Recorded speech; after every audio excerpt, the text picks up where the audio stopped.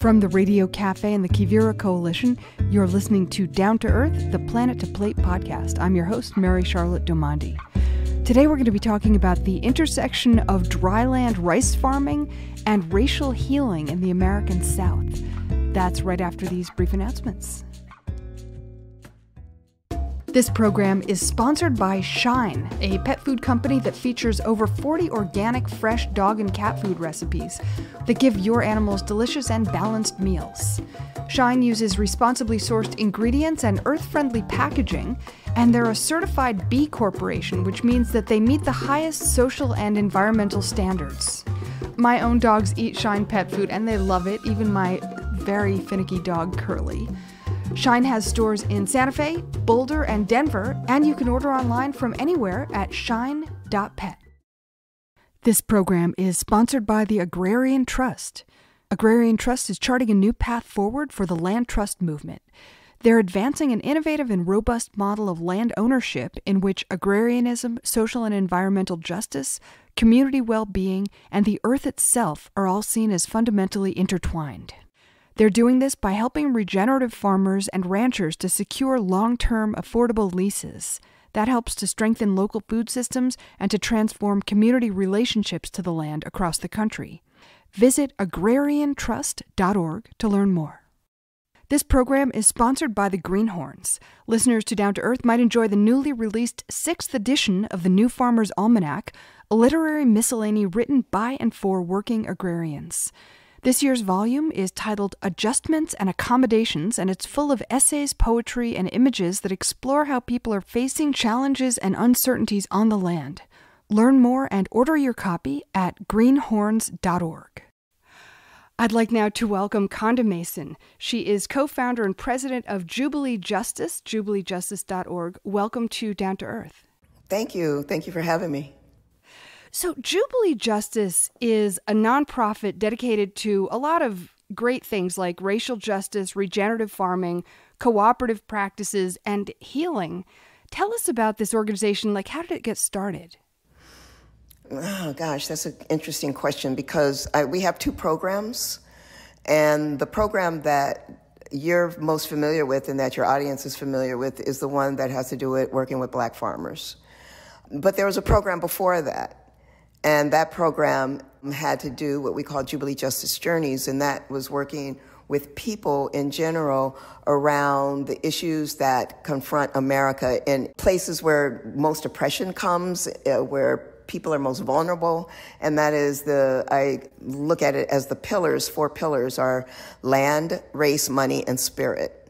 And so Jubilee Justice was founded by a chance meeting with myself and a woman named Elizabeth Keller, whose family owns a legacy plantation in Louisiana, in Alexandria, Louisiana, where I actually live now. Who, who'd have thought back then? When we met, she was very pained by the legacy of enslaved people on this land that her family owns. And they became owners of it in 1927 but she always wanted as a 3,600 acre plantation turned into the largest organic farm in the state of Louisiana. But she's pained by the legacy of slavery and wanted healing to be done here. And so it really started with me bringing together groups of people. We came here once and did an incredible journey of about 35 people, black and white, coming together to deal with the issues of land, race, and money and the origins of this country being founded around those really difficult issues. And so that's how it actually got started. And in the second journey that we had here on the land, I met a black woman who was working with farmers and helping them save their land. And she's a lawyer. And she gave us so much, the group, so much information about the current status of black farmers in America and how difficult it is 30,000 acres a year being taken from black farmers. The fact that black folks after emancipation and in the early 1920s, in the census, that they managed to aggregate over 20 million acres. And it is now down to less than 2 million acres. And the systemic nature of what happened and what continues to happen. And so through that encounter, through the Journeys program, then right after that, I ran into a dear friend of mine who owns a company called Lotus Foods. And Lotus Foods has most beautiful rice, I think, on the shelves right now. They're a rice company that has organic, and now they're actually regenerative organic. They're the first regenerative organic certified rice company in the world.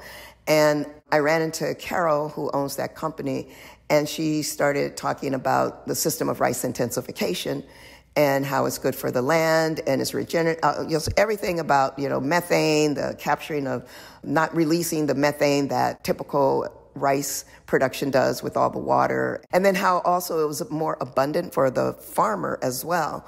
And that is just this, this incredible crop to grow this way in the system of rice intensification, SRI. And so she was telling me that, and I was just listening. And then she said that she wanted to create a domestic supply chain of rice growers here in the US because all of her rice was coming from Asia and Africa. And the first thing out of my mouth was after talking to Jillian and hearing about the plight of the black farmers and knowing that I come from also a very small farming family, the first thing out of my mouth was, what about black farmers? What if you created a cohort of black farmers who were your supply chain in America? And she thought, well, that's a great idea. And the next thing I knew, I was on a Zoom call, and Jubilee Justice had this Black Rice Farmers Project in collaboration with Cornell University, who are the people who have been promoting a system of rice intensification around the world the most. And a woman named Erika Styger is my deep partner in this project, who is at Cornell, a man named Mark Fulford as well. And then, so I had the technical assistance from Cornell, I had the market from Lotus Foods, and we just had to create the product and find the black farmers and make it happen. And so that is how it began. Let's talk a little bit more about the system of rice intensification. This is a dry land system as opposed to wetland rice farming. What does it look like? I mean, what's going on on the ground? Well, here's the thing is that rice is a grass. Rice can tolerate water, but it does not love water. No plant really does well with their roots submerged underwater full time because the oxygen can't get to it still needs oxygen just like other plant roots do. So what we have with the classically grown rice is a rice whose growth has been stunted. It's never its full expression. And so the only reason why the water is there is just to suppress weeds. Now, that is not a small feat. Suppressing weeds is really important. But that's the only reason for it, is to suppress weeds. So if you get rid of the water, what you have now is a plant. That's only one principle of SRI. The other has to do with giving the plant more room for the roots to spread. So we do this, this spacing of about a foot between plants. And typically, rice is like planted right next to each other, it's submerged in water. And also, the seedlings are older when they put them in the ground because they, they also need to be tall to, to sustain the water. The way that we plant it with SRI is that the seedlings are about two to three weeks old. So they've got their whole life in front of them. We plant them 12 inches apart. We don't submerge them with water, and the plant is huge compared to the size of a plant that is not grown that way. So, in growing rice, they call it tillers, and that the tillers are the, the stems or the leaves. And in a typical way of growing rice, you may have about an average of 12 tillers per plant. In the SRI method, average is 35 tillers, and we go up to 100, 150 in one plant, one seed. So the plants are happier, they're bigger, they're more abundant, and it also, because of the way that we plant it with such spacing, the pounds per acre is significantly down, meaning that in a traditional way of growing rice, you are usually about seven, between 75 to 85 pounds of rice per acre. we use about six to eight pounds of rice per acre. That is an incredible savings for the, for the farmer. When you say use pounds of rice per acre, what does that mean? We plant, sorry, we plant. Okay. So, how do you deal with weeds? So, that's a really that's the question of the hour. Because we're we're organic and we're not, you know, using any kind of herbicides or anything. So, the weed issue is a big issue. We have done several different things. One is in an ideal plantings, what we would have is grow cover crops with a lot of biomass, terminate the cover crops, and do a direct planting directly into the cover crop, and the cover crop being a live mulch. We here, where I am on this land, have not been able to grow the massive cover crops in the winter. Our biomass has been smaller, but our summer is good. We have a very high water table, and so cover crops, again, their roots are submerged in water the whole winter, and so they don't grow as tall as we would like them to. And we do a big diversity of cover crops, um, you know, rye being the, the tallest one, the one with the most biomass that we hope for. But right now, for example, we have the cover crop of sun hemp, and it's growing massively tall, but it's also not that time of the year. We have instead used hay. We've used hay, and hay has its drawbacks in terms of cost, in terms of labor. There's a lot to it. So, we're, what we're trying to do, we've been doing this on a very small scale. We're trying to figure out how to scale this operation. Essentially, the way we've been doing it up until this year, we have been kind of the small scale hand planting operation. In order for this, for us to actually get more rice and to be in the market, we wanted to scale it up by a couple of acres even.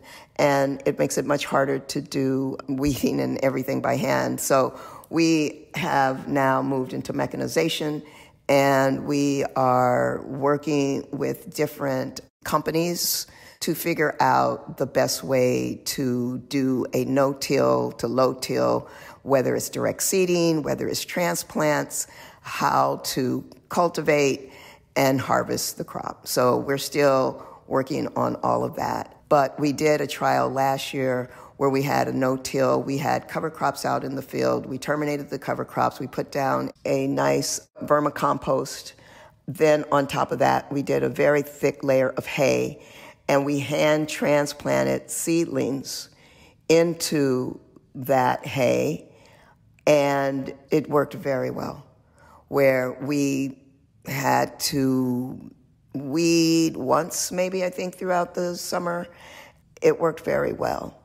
And we had a very dry summer which was great and the mulch layer of hay was able to keep the soil moist enough for the rice and the rice really it was thriving but it was a lot of labor doing hand labor into thick mulch for it was a quarter of an acre. But we had a very good yield.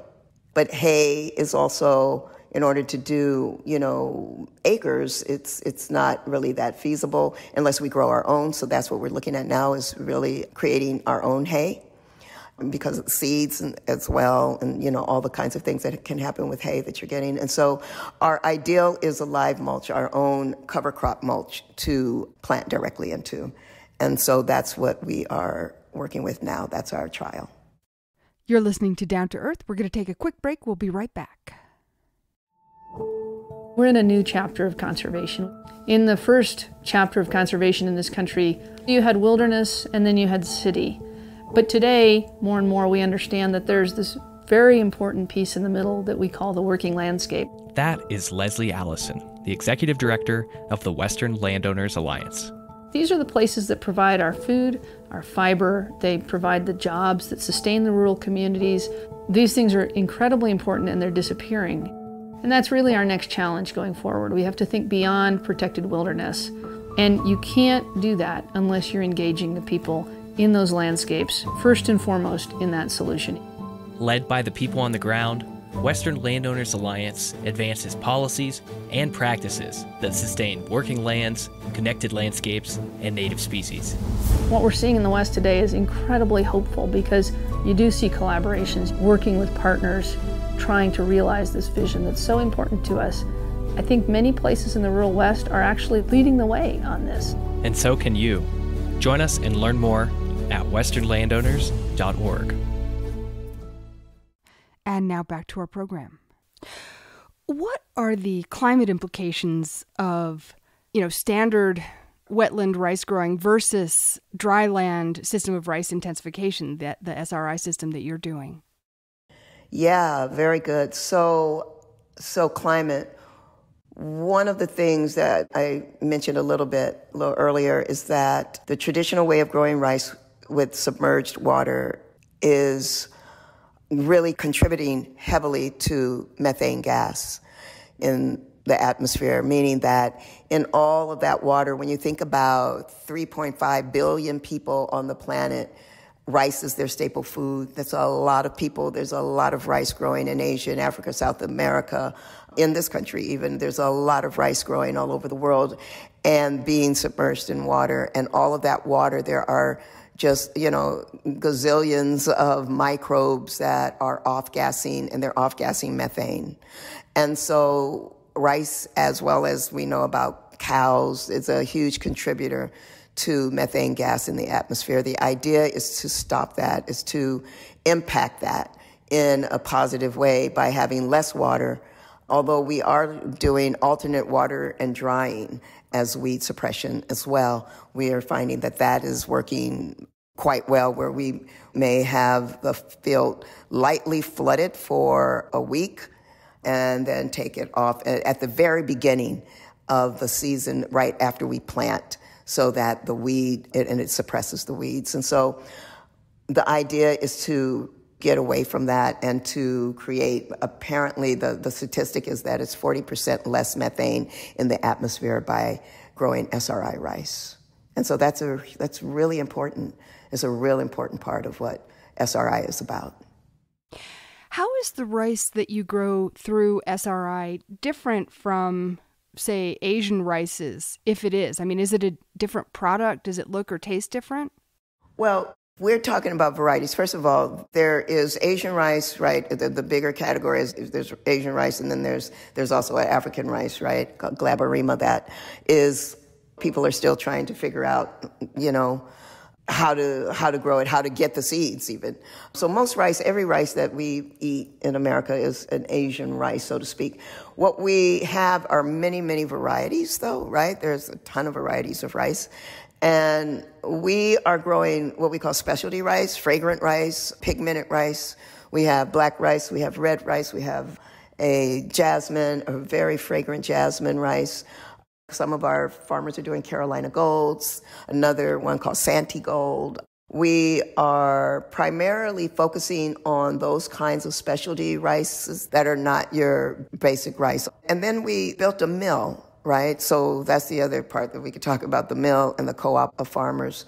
But with the mill, in a mill, you have the option of keeping your rice after it's milled, after it's dehulled, keeping it brown and keeping the bran on it, or taking the bran off and it's white rice and it gets polished.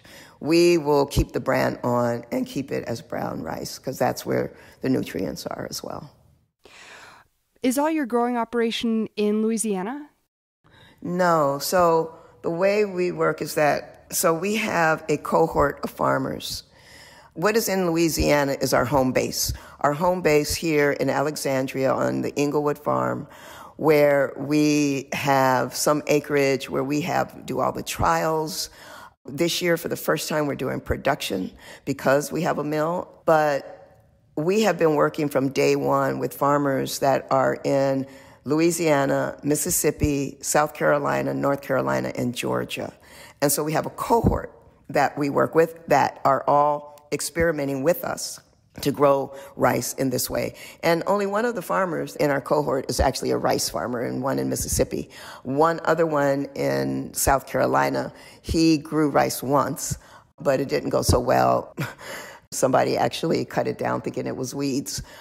We are primarily working with black farmers throughout the Southeast on this project. And so, yeah, we here in Louisiana are just where the headquarters is located.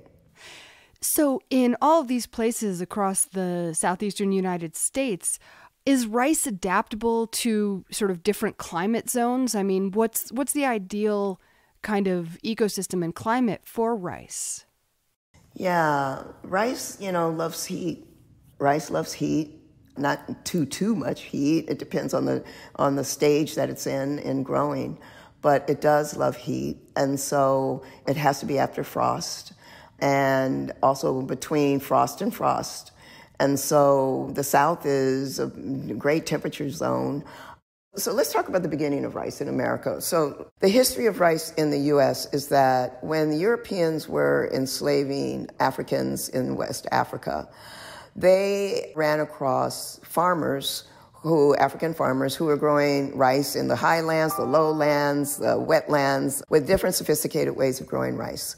And in their minds, they were like, well, we have to feed this new world. So they intentionally targeted these rice farmers and brought them captive to South Carolina.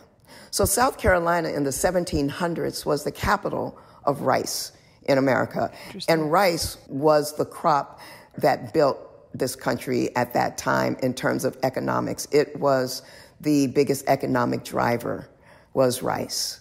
And then it became cotton later. That's so interesting. I bet most of our listeners don't know that. I didn't know that. Yeah, and so South Carolina was the capital of rice. But it was treacherous. I, mean, I don't know if you've been to South Carolina or not, but it is swampy. And so it would take years just to fill in the swamps with soil, with land on the backs of enslaved people. Also, you're dealing with alligators, you're dealing with snakes, you're dealing with all that that comes with the swamps. It was a horrible, horrible, horrible job. Be that as it may, the people who were enslaved still made it happen. And South Carolina is absolutely known as the rice capital in America. After emancipation, the people who were enslaved, they left to doing this, this hard, laborious work. And years later, decades later, the rice capital moved to Arkansas. So right now today, Arkansas is the rice capital in the U.S. And South Carolina is historically it. And the rice, there's a rice museum in South Carolina, in Georgetown, if anybody ever gets to go there. It was very interesting. I just went for the first time. Erika from Cornell and I went for the first time just this year in May to the museum. But yeah, so from South Carolina to Arkansas, and everywhere in between, rice began to grow and be planted. And so, this southern United States is the place that is really ideal for rice cultivation. How would you say the system of rice that you are doing fits into regenerative agriculture? Does, do you feel that it has a regenerative aspect? Oh, yeah. Yeah, yeah, yeah. I mean, that's the hard part, right? That's the hard part. We have a model soil first, and soil first means that we're really trying to build up the soil. We're really trying to build up the biology in our soil and the organic matter and and all such as that. And so, you know, through the cover crops, through the rotation, through all the less soil disturbance, um, you know, all of the different parts that are called regenerative agriculture we have employed. We went into a new part of the land that we had never been on this year, and it hadn't been used in quite a while. It, had, hadn't been farmed, and it had been dormant, and we tried to grow a no-till system there uh, and direct seeding, and it just didn't work. The the weeds just really took over, and so we redid it. We plowed. We literally had to buy for the first time plow. So we we did plow that and, and tilled it, and we hope that that's the one and only time we have to do that plot. And now we've you know we've planted into it, but that's why the equipment that we need are no-till. We have a no-till seeder we have uh, a one that, that works on a tractor. We have one that is that just arrived that is works by hand. We are desperately in need of a no-till transplanter so that we can actually transplant into thick mulch without having to do it by hand and just keeping again i mean we are tractor based now and we know about compression but we keep the furrows where the water how we how we irrigate or where the wheel base are of the tractors, and we try to do as little compaction as possible. But Yeah, we are doing all those kinds of practices and we are sharing them with all the farmers that we work with in the cohort. And so being a lot working with our cover crops and finding out the best cover crops and, and how to get that biomass that we can use. Uh, and again, less soil disturbance as possible is a real important part of, of what we're doing. So let's talk about this cohort. If I understand correctly, you've been at this, you're in the fourth season of this uh, rice farming practice. And you've built a mill and are working on a kind of vertical integration piece so that you are more independent. But tell us about how that's working. I'm sure that there must be so much sort of trial and error and learning in the process as you're going along. Oh, gosh, yeah, yeah. I mean, we are a lab. And, you know, the first year we didn't know anything. Ariel was with us and she just, you know, came from her work at Cornell and Ariel Edwards, and I came in from California, and it was just one big trial. Second year, same, pretty much. We kind of had our bearings a little bit. Third year, which was last year, we really were hoping to, okay, now we have a sense of what's happening, you know, we still had varietal trials. We were trying to figure out what are the best varieties that work in the South. What are the short term, the shorter term growing, the shorter growing varieties, the longer growing varieties, the more pest resistant varieties, the more heat resistant. I mean, we went through every trial possible, and we have boiled down to about four Uh, well, we have about six main varieties that have become our favorites that we know that do well, so seem to do well across the board with most of the farmers. And so we have, like I said, it's been quite the lab. And then the idea came up to actually build a rice mill. And that was mainly with a conversation with one of our farmers when I found out the price that a farmer gets for rice. I mean, when I stepped into this, I had no idea about anything. And I was learning everything from the ground, you know. And so we found out, you know, the price of rice, and we thought, first thing out of my mouth was, oh. And then, you know, the farmer takes all the risk, as we know, and then the person who has the mill comes and picks up the rice out of the silo and mills it and and makes more than the farmer. And it was like, that does not work for me. We need to own our own mill. And from that conversation, a mill was built. and we just, yeah, we have a mill now. We have a mill. And so the idea is that the farmers, as a cohort, coming together also as a cooperative, running the mill and participating in the upside, not only of, first of all, organic specialty rice, but also the upside of owning the mill and cutting out the middle person. And so we're very excited about how this will work. It's a big experiment. You know, cooperatives come and they go. And I have a vision that, and I hope we're all holding that vision, that this will be a successful co op that can grow and grow and grow and become a, a major player in American food, in our food industry. Talk more about the cooperative aspect of it. How are the farmers in the cohort cooperating with one another? What does that look like? Well, it hasn't started yet, really. We'll know soon. We're having our first meeting in November.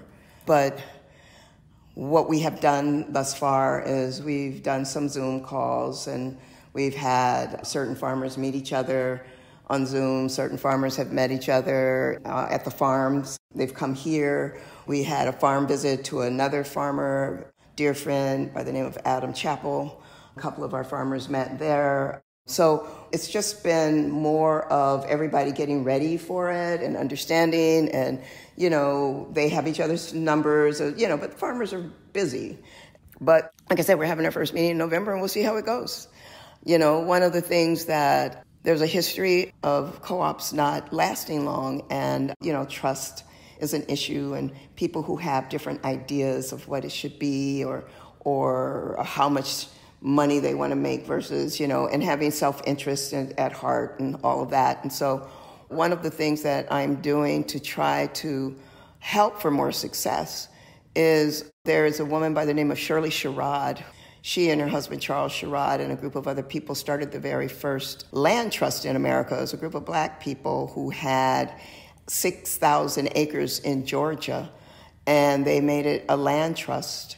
And they did a cooperatively uh, run organization. And so, and it lasted for many years before, you know, it was of so many ways being attacked by white farmers who wanted to to shut them down, and, and it finally did happen. But Shirley is a Sherrod. Miss Sherrod is a very good friend and colleague of ours, and she has deep experience on how the internal part works. How does the people part work?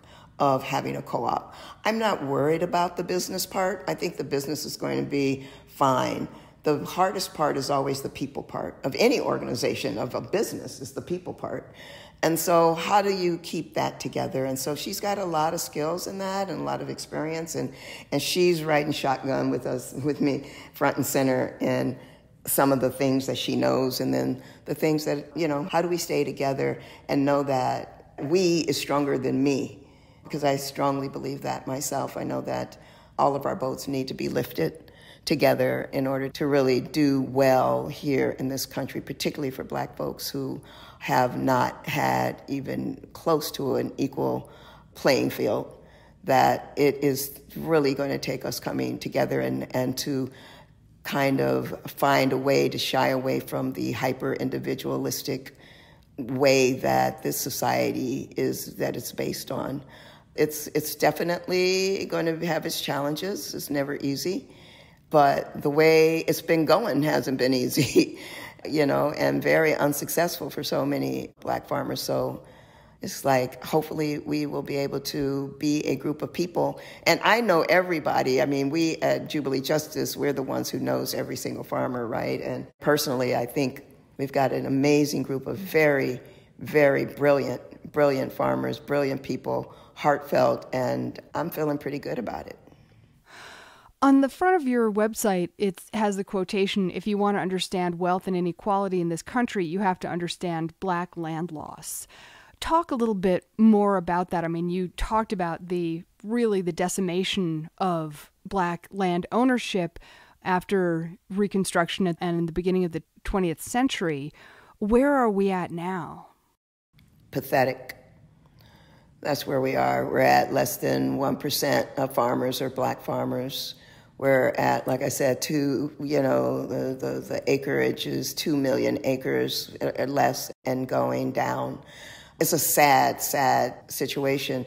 And in a country where land is wealth, imagine the wealth, the intergenerational wealth that could be in the black community, in black homes, in black, in uh, black families, had that land not been confiscated the way that it has been so systematically confiscated by both the US government and private sector, literally colluding together to take the land from, from black farmers in ways that it's just pretty appalling. I mean, and, and the thing is, is that America, by and large, doesn't know this story. Just like you didn't know the story about the right. They don't know the story. I mean, I think that what happened to Mr. George Floyd in um, Minneapolis a few years ago, that the whole world saw this video that was caught on a cell phone. And it was like, oh my God, this is really still happening yet now. And the world responded, not just our country, the world did. There are no cell phones in rural America that are taking photographs of the discrimination, of the racist elements that are taking place every day. There's no cell phones capturing that. Yeah. You don't see the, you're not seeing this on Instagram. And so it's pretty much under the radar. And yet, it is so prevalent that it's just time for people to know about it, to know what's happening in rural America. And for me, there's no other place to be than in the South, where the most harm happened in this country. This is where it happened everywhere. Now, don't get me wrong, I know the North would like to think that they did not participate in, in the peculiar institution of slavery, but it did and benefited very much in different ways, you know, all your insurance companies and universities and so, so forth and so on, but, and, in and slavery. But what happened in the South, what happened in the South, the chattel slavery that this country was built on, this is where the harm, this is where deep, deep traumatic harm happened. Trauma for everyone, black folks and white folks, traumatized. So for me, I don't know. I can't imagine me being anywhere else right now in, in this phase of my life doing any work towards justice. It needs to be here where the most harm happened. And it is, like I said, still happening. And a lot of it has to do with land, land and place. You know, where people live, where they're rooted. They were taken, land was stolen from indigenous people. Africans were taken from their land, you know, forced to build land up and to create a thriving economy for other people based on land. And it's our earth, it's the planet, it's the soil, it's all the beautiful beauty of land that the juxtaposition of the horror of slavery and the beauty of land and soil and all the beautiful microorganisms that are living under this soil who are creating the plant life that we know and love and eat and it's yeah you know both of those realities are living side by side. On top of the land there's all this horror and under the land there's just all this beauty. And I just think that land is a big piece of us as humans on the planet, how we treat the land, how we treat each other. It's the same. So, this dichotomy that we have between, this false dichotomy that we have between climate and justice is, it's all the same stuff. We are the land. We are land walking and talking. We are the earth. We're all stardust, actually. You know, and it's it's important how we treat all of it. You can't well you can, but it's sad when you separate and you think, well, I'm going to save the earth, and then you put that young black boy in prison behind at underage who's life was thrown away from the very beginning. Since he was five, he was already destined to prison, and you built the prison for him, knowing that, oh, that's his path. But I'm going to save the earth and the polar bears and all the other creatures. We're all in this together. This is all about regeneration. Regeneration is at the center, it's either regeneration or it's exploitation. They can't live in the same place at the same time. And exploitation is what our capitalist system is based upon exploiting the earth, exploiting the people, exploiting our family of other animals that we share this earth with. And until we really get that regeneration and regenerative agriculture is more than regenerative agriculture. It's not just regenerative agriculture. You can't have regenerative agriculture without a regenerative society. We have to stop the separation. Yeah, yeah. Or it'll never work. So, what is your vision for the work of Jubilee Justice and the farmers who you're working with to regenerate not only land, but wealth and the process of healing with, I don't want to say after because it's still going on, but with all these decades and centuries of trauma? I feel that our healing, we can't heal forward if we don't heal backwards. We have to acknowledge what has happened here in this country, all of us, and including our farmers. When we go on the land, when we meet our farmers and we go on their farms and we start talking about, you know, where the land come from, how many generations back, and how did your grandfather farm, or, you know, smiles come on their face and they talk, yeah, he did it naturally. They use the word natural or with this kindness in their heart, you know, and in their face around how it used to be, how it used to be. And now they're indebted to the chemical companies and caught in the web of chemicals and don't know exactly how to get out. And so that is a big issue and that is a big problem. But yet, in order for us to heal, if we can go back to our ancestors, our ancestors who, who paved the way for us to be here right now, and understand and listen to the land and listen and have a sense of community amongst each other. That whole divide and conquer strategy, getting away from that, getting to know each other, creating communities of practice together. That's what Jubilee Justice is doing. Creating these communities where we come together and we get to know each other and we get to talk about the past and we get to laugh and be a part of our ancestry, where even as hard as it was and as horrible as it was for our particular ancestors, there was always joy. There was always love. There was always that heart of, of the people that you can never break, no matter what. And so that's what we have to focus on, and that's what we focus on. We, we focus on love, straight up. Yeah. We focus on love. Konda Mason, thank you so much for being with us here on Down to Earth. Thank you for inviting me. I really appreciate it, and um, I wish you well. Konda Mason is co founder and president of Jubilee Justice. You can find out more at jubileejustice.org. You've been listening to Down to Earth. We would love it if you would support this program, which you can do by going to patreon.com slash down to earth planet to plate where you can sign up for as little as $3. Patreon is P A T R E O N.